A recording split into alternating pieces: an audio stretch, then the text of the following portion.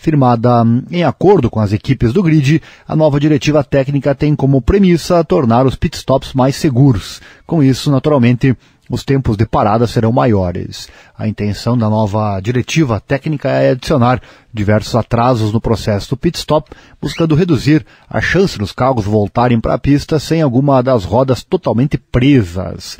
A regra TD22A refere-se ao artigo 12.8.4 do Regulamento Técnico da Fórmula 1, impondo restrições nos equipamentos de pit que esclarece que os dispositivos que são usados para instalar ou remover os fechos das rodas só podem ser alimentados por ar comprimido ou nitrogênio. Qualquer sistema de sensor só pode agir passivamente.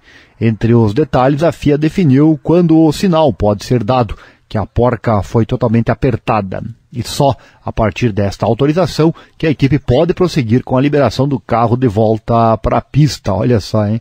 A nova diretiva também determina que as reações dos mecânicos devem estar acima de um tempo mínimo. Se um reage à conclusão do processo de pit stop em menos de 0 segundo 15, o sensor registrará como inválido e vai exigir a repetição da operação. Os sensores das equipes também permitem que os mecânicos se comuniquem quando cada processo do pit stop for concluído. Uma vez que a troca for concluída nas quatro rodas, o semáforo do time indica se o carro pode ser liberado. A nova diretiva afirma que 0 segundo 2 devem passar entre o último sinal da troca e a liberação dos pilotos para sair. Em entrevista veiculada pela revista britânica Autosport, Andrea Said, chefe de equipe da McLaren, se mostrou entusiasmado com as mudanças que estão por vir. Aspas, houve uma atualização na diretiva técnica. Foi baseada no feedback que a FIA coletou após o envio inicial para análise das equipes, o que faz mais sentido do nosso ponto de vista. O principal objetivo desta diretiva técnica é assegurar que as paradas aconteçam de forma segura, antecipando a possibilidade de que coisas ruins aconteçam. O segundo objetivo é assegurar que estaremos em alguma igualdade de condição na aplicação do regulamento. Dessa forma, estamos contentes com ela. A porta está aberta para novas mudanças para o próximo ano. Fecha aspas, completou. Interessante, né? Mudanças significativas no pit stop. Já Christian Horner, chefe da Red Bull e um dos principais prejudicados pelas mudanças, não vê com tanta alegria as mudanças propostas. É, dominante no quesito nos últimos anos e na temporada, a Red Bull se vê um pouco prejudicada por conta das alterações que nivelaram os tempos de troca de pneus em todo o grid. Ele disse, aspas, temos que lembrar que a responsabilidade é do competidor que tem que manter as quatro rodas seguras. A punição por descumprir isso é ter que parar o carro, retirando-o da corrida imediatamente. Essa é a punição brutal no caso de não ter as quatro rodas posicionadas da maneira correta. Mas não sei quanto a introduzir atrasos artificiais e tudo mais. Os pitstops têm sido um elemento emocionante. Eh, pode um grupo de pessoas trocar quatro pneus em menos de dois segundos?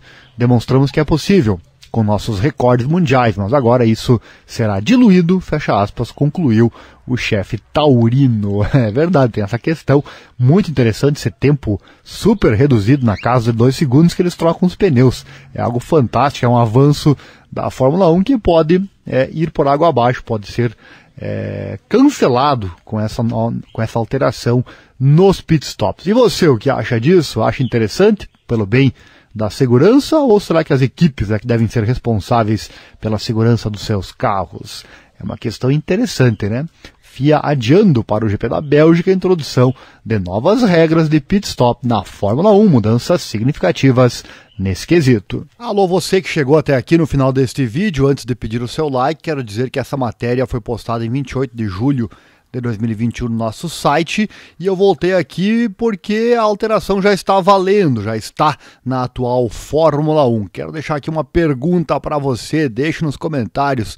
Você percebeu alguma diferença significativa nos pitstops da Fórmula 1? Já está valendo, teoricamente já teria que ter diminuído bastante os tempos de parada. Você percebeu esta diferença? Espero o seu comentário. No mais, aquilo que é tradicional, nosso pedido de sempre para podermos crescer aqui no canal e trazer mais e mais informação para você. Deixa o like, se inscreva no canal, acione o sininho, clique em todas as notificações. Só assim você recebe os nossos vídeos e fica por dentro do que acontece também no mundo da Fórmula 1 e nos demais esportes que abordamos aqui no nosso canal e compartilhe os nossos links com seus contatos, tá bom? Um abraço, valeu, até mais.